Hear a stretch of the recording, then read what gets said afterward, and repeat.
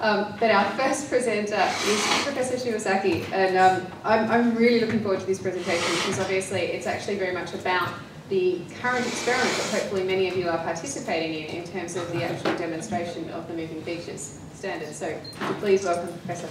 Okay, thank you very much.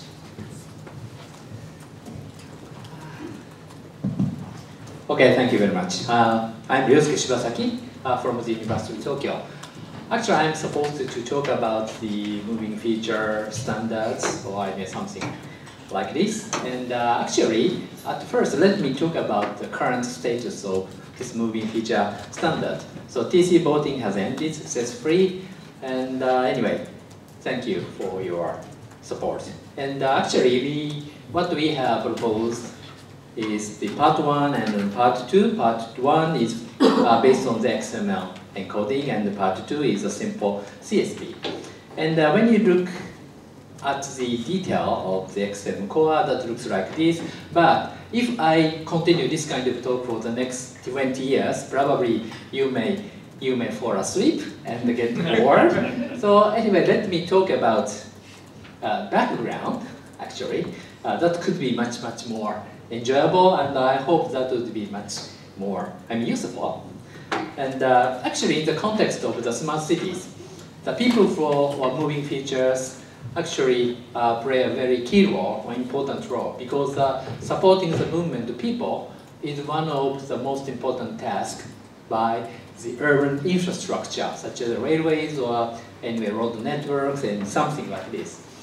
And uh, for supporting the successful planning and also the management of such kind of transportation infrastructure, the main cities conducted a kind of very expensive survey based on the, anyway, questionnaires. So, for example, this is one of the visualizations of such kind of very expensive uh, survey results. And uh, this was done around six years ago, and uh, it consists of 80,000, 800,000 samples, 3% of the entire Tokyo metropolitan areas. So you may see the different colors corresponding to the transportation mode. And uh, this data, of course, are collected not by not with GPS, but by the questionnaire. So the all the 830 guys are requested to write down, for example, when did you uh, leave home or anyway, when uh, which station did you go by what kind of transportation mode, why need something like this. And of course, in the late afternoon, it's uh, anyway, you may find out uh, some kind of clocks here. Uh, the flow of the people actually go backwards and going back to the suburban areas or to their, for example, homes. It's still And- working. Hmm? It's still working. It's Ah, ah, yes, yeah, of course, there are a lot of people working. you can find them even around here.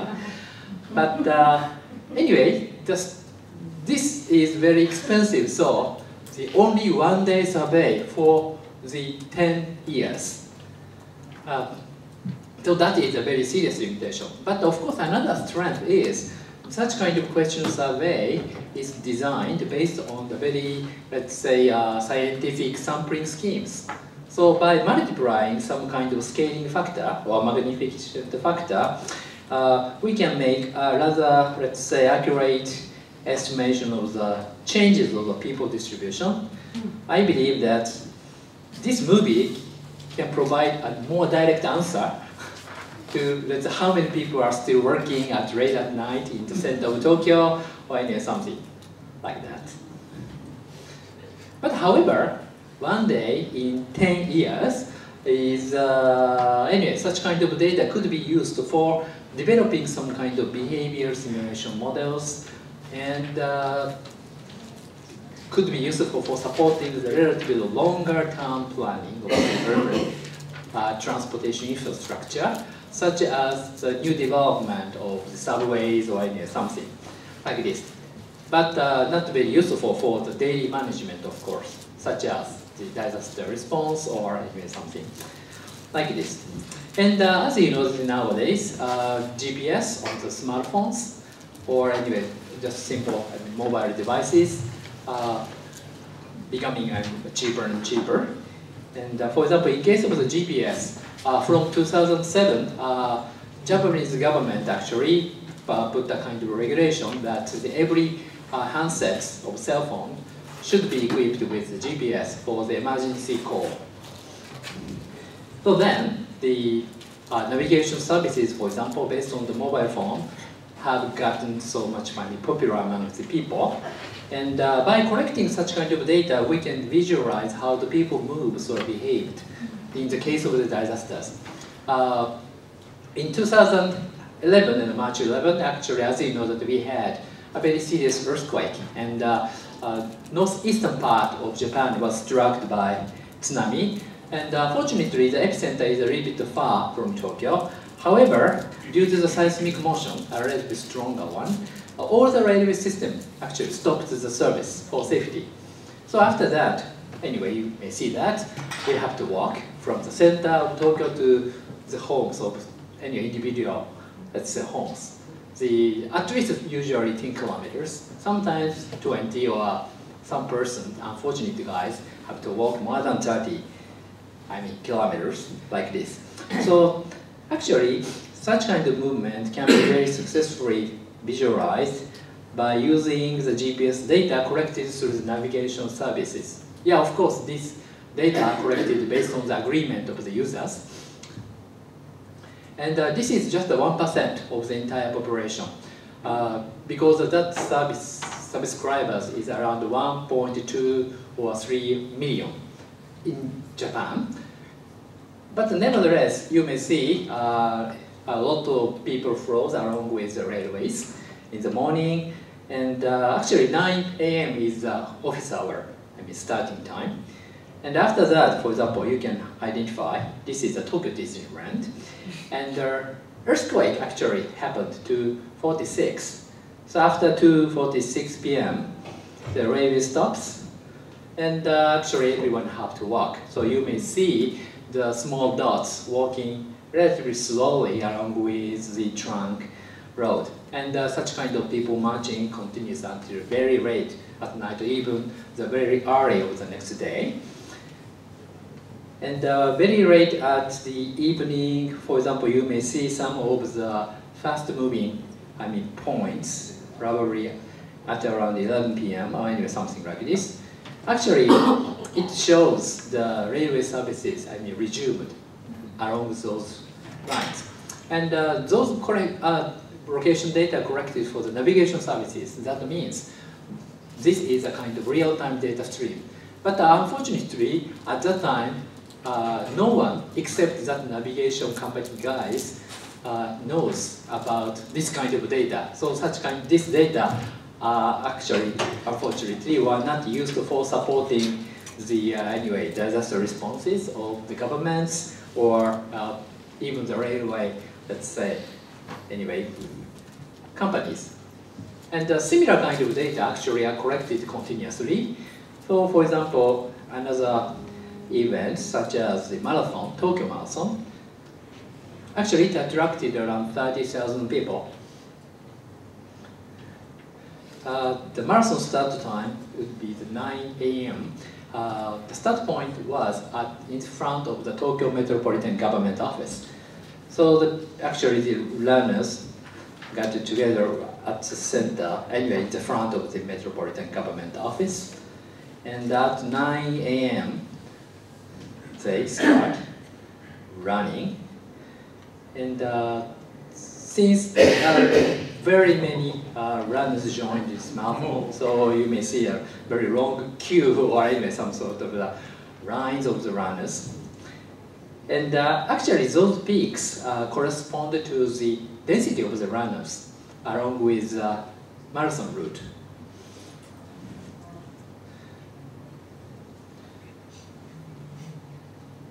And those pictures are the, I mean, the photos uh, uploaded through the Twitter. And close to the goal, actually this is the goal, goal point. So even after the four or five hours of the starting time, are many people still running or enjoying running. And after, around 4 p.m., the marathon route was anyway closed. So that is the end of the event. Was it also uh, from the cell phone data? Ah, yes, yes. GPS data from cell phones. Okay. And uh, actually, uh, such kind of randomness density could be a very good feature to automatically detecting such kind of events like marathons. But when you look at the actually the population density at individual grid cell, uh, again, some other kind of event could be detected like this. Actually, these are representing the time series changes of the population density at this specific grid cell, and this is a sudden jump at a specific day. Actually, that is a kind of firework. And also, the another festival, actually, this is a kind of university campus festivals. Uh, ordinary days, of course, the students come to the campus, but uh, this is a Sunday, Saturday, a lot of more people, actually. And such kind of changes of the population density could be very easily detected, something like this. But uh, actually, if you wanted to, for example, uh, try to collect some sort of the bias of such kind of data, or uh, make more in-depth analysis, for example, you may try to identify the clusters of points, and that could be regarded as a home or workplaces. And actually, such kind of information would be useful for describing or estimating some sort of the user, I mean, the profiles, something like this. And, uh, but of course, such kind of labeling, uh, we need a kind of training data. That is always a big obstacle in making this kind of analysis more reliable quantitatively. And uh, anyway, these are the kind of user interface of the system for checking whether the analysis is really correct or anyway not. So the based on such kind of training data sets, the actually the labeling accuracy will be at this moment 90 for example percent. But once the home labels is attached, then we can uh, just aggregate the GPS users for individual administrative zones. And the national census, of course, is available for such kind of zones. Then we can compare. As actually, that uh, help us uh, estimate some kind of scaling factor. So according to this, the eight, uh, actually the vertical axis is uh, national census. The horizontal axis actually a kind of estimated population from GPS. So you may see the correlation was not so bad, and uh, this is a kind of scaling factor, 86.165 or something like this. But still, you may find some sort of the outliers. Anyway, actually, these are a kind of night entertainment spot where the very many, let's say, nighttime workers uh, anyway stays even until the 4 or 5 a.m. in the, let's say, morning. And uh, when you go out of Japan, actually, still, uh, many people use these uh, cell phones. But uh, in such kind of cases, uh, GPS receivers in the mobile phone is not very, let's say, popular. So the, what we can have is just a kind of cell tower location uh, as a kind of proxy or the alternative location of the in individual users. For example, this is the data from Dhaka, and the, the yellow points correspond to the location of the cell towers. So you may see a very huge uh, concentration of the cell towers in the center of the Dhaka city, and uh, movement of the handsets or the Dhaka people actually could be represented as a kind of moving point uh, connecting individual cell tower, for example, locations. So that does not look so fancy or real uh, compared with the movie created from the GPS. And also this is very early in the morning, so we may just accelerate something like this. And also, in this case, the location is recorded whenever they make a phone call. And actually, at this moment, what we have is just a voice call location. So the, such kind of movement actually is a kind of artifact because uh, such kind of movement must be created through the uh, interpolation. But nevertheless, we could identify some sort of the moving, for example, patterns. And uh, such kind of moving patterns could be summarized like this kind of, let's say, origin and destination data. Actually, such kind of data uh, is a kind of basis for traffic management because it represents the demand for movement or anyway transportation facilities or systems. But at the same time, we may make uh, more, let's say, advanced or intelligent uh, interpolations. So the actually this is a result of the interpolation. And for such kind of interpolation, of course, we have to combine uh, some kind of behavior model of the Dhaka people. And uh, based on that, we try to estimate uh, which route they may take. So then, this is a kind of uh, interpolated results. So it looks a little bit more realistic. And also by counting the number of such kind of uh, moving points along with the networks, we can, let's say, estimate uh, some kind of traffic, I mean volume of the individual uh, major street links. So the, uh, fortunately, yeah, it, correlation coefficient I'm not shown here, but it's something like a 0.7 or something like It's not very high, but not so bad. So uh, anyway, uh, by combining the coarse observation data with some kind of, let's say, behavior models or movement models, uh, we can downscaling such kind of coarse resolution data for the better estimate. And uh, of course, in the context of the developing countries, there is a lot of demand for the moving features. Uh, actually, this comes from the science paper uh, published by the Harvard School of the Public Health. And according to that, actually, the malaria parasite actually migrates from one place to the others uh, with the people, moving people. Uh, this case is Kenya, and uh, those areas actually facing to the Lake Victoria, a lot of uh, parasite rate or density. So this is the origin of the parasites. And this is, this location is Kenya, capital city. So it attracted a lot of seasonal workers, even from the areas facing the Lake Victoria. So together with the seasonal workers, actually the parasite will be I mean, brought from Lake Victoria to the I mean Kenya, uh, sorry, the Nairobi. And uh, since there are many, many hospitals in Nairobi, actually, those parasites will be actually demolished. So this is a source and also a kind of thing.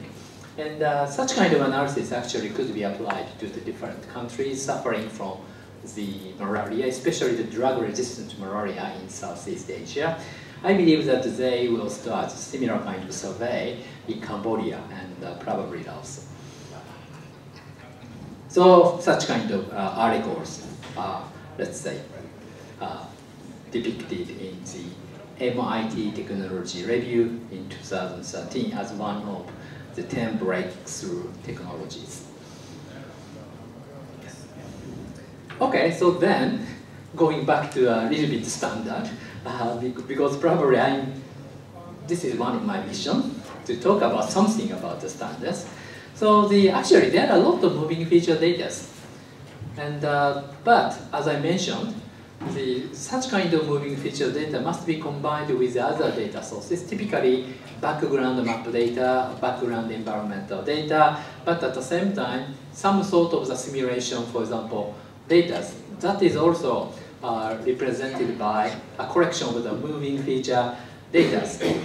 But uh, however, there is no such kind of standard for the data exchange. That is the start point. And at the beginning, we have investigated what kind of uh, standards could be applied for representing such kind of moving features or uh, temporary changing uh, geographic data. And for this column, the moving feature, for example, data, uh, very fortunately, the ISO 19141 uh, described some sort of the conceptual models, but not, nothing for the implementation. And it was uh, actually developed or uh, published in 2008. So that means almost, let's say, six years passed without doing anything for the implementation. So the we define the target here, developing a kind of implementation standard for exchanging the data. Then we provide, as I mentioned, two different kind of the uh, standard, part one, part two. Uh, part one, of course, is based on the tradition of the GML or heritage of GML. It's based on the XML. But at the same time, the, there are many features, 3D, 2D, 1D, or something like this. So actually, at this moment, we just focus on the moving, let's say, points, just the 0D I mean, features, because many of the moving features are represented by just the moving points. So then, the moving point features for XML core, and the, actually the number of such kind of moving features are quite, in many cases, very many. Uh, for example, in the case of the, uh, the data, it comes from the 6 million uh, unique ID, and I don't remember the exact uh, number of the records, but uh, anyway, we have to exchange the very huge amount of the data. So then, the simple encoding, such as a simple CSV, may help. So that is the reason why I provide the part two. So then, I go back to the first slide. Thank you for your support. And the actually, uh, oh, amazingly, uh, there are not so many tools. I mean, very easy but still uh, fancy tools that allow us visualize the moving point data. Actually, the, the movies I showed was created by this tool. Uh, that tool is called MobMap. And the MobMap is just a kind of plugin. And also, this is a reference implementation of that standard. And actually, the MobMap is a kind of plugin for the Google Chrome. And uh, I believe that, just a moment.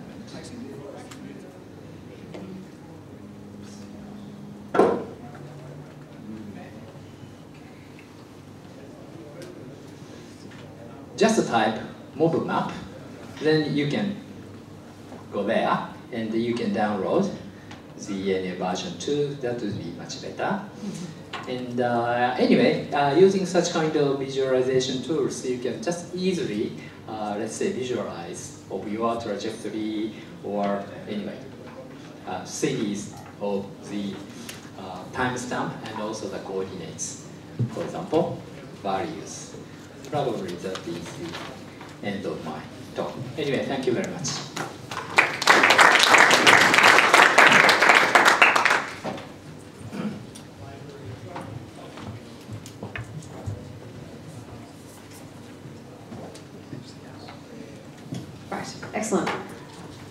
We definitely have a couple of minutes for questions. Has anybody got questions for Professor Shibasaki?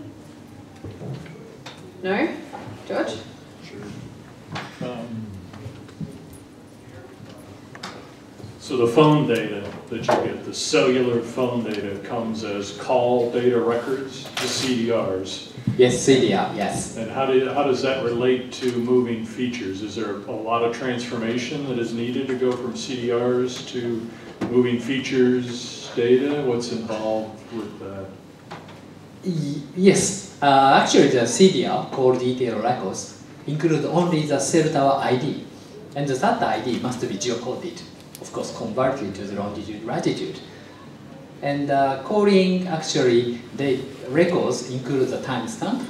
So the actually, uh, the cell tower location and the timestamps.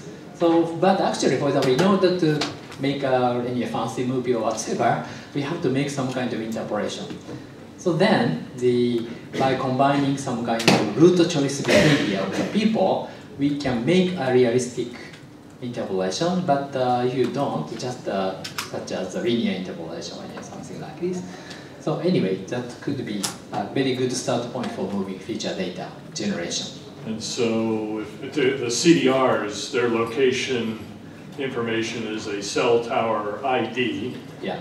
and there must be a database then that goes from cell tower ID to lat long or some other coordinate? Exactly. And is that hard to get? Is that an easy database for you to uh, get that database of cell tower locations or?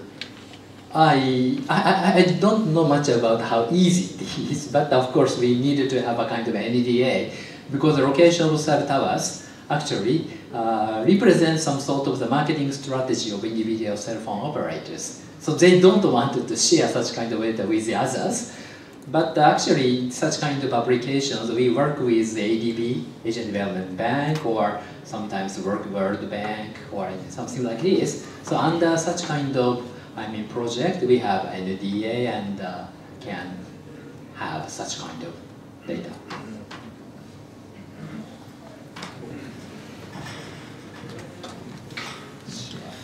Since I can reach you, you get the.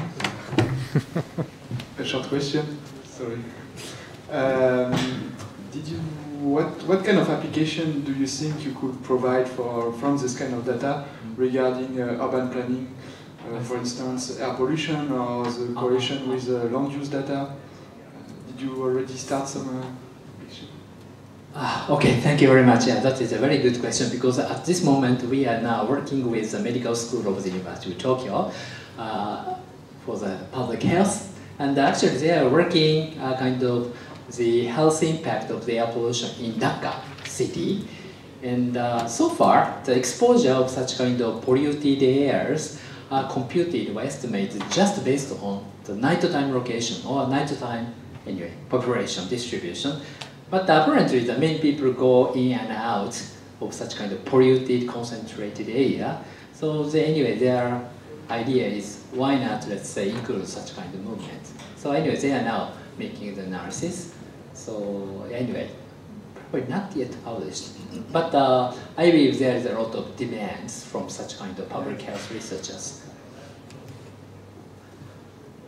Just a comment. Uh, Need to turn on your mic. Okay, just a comment. Uh, thank you for your very interesting presentation. I really liked all these movies. Um, just greetings from uh, ISO TC211 meeting in, in Shenzhen, China last week. Uh, I'm there acting as a head of Finnish delegation and what we actually agreed upon is that in the future we are not only developing these UML conceptual uh, standards, but in parallel also XML and other schema implementations. So I hope we won't have the situation like we had in this case, that you had to wait for six years and to do it by your own. Thank you for OGC working within this paradigm. Okay, yeah. Thank you very much.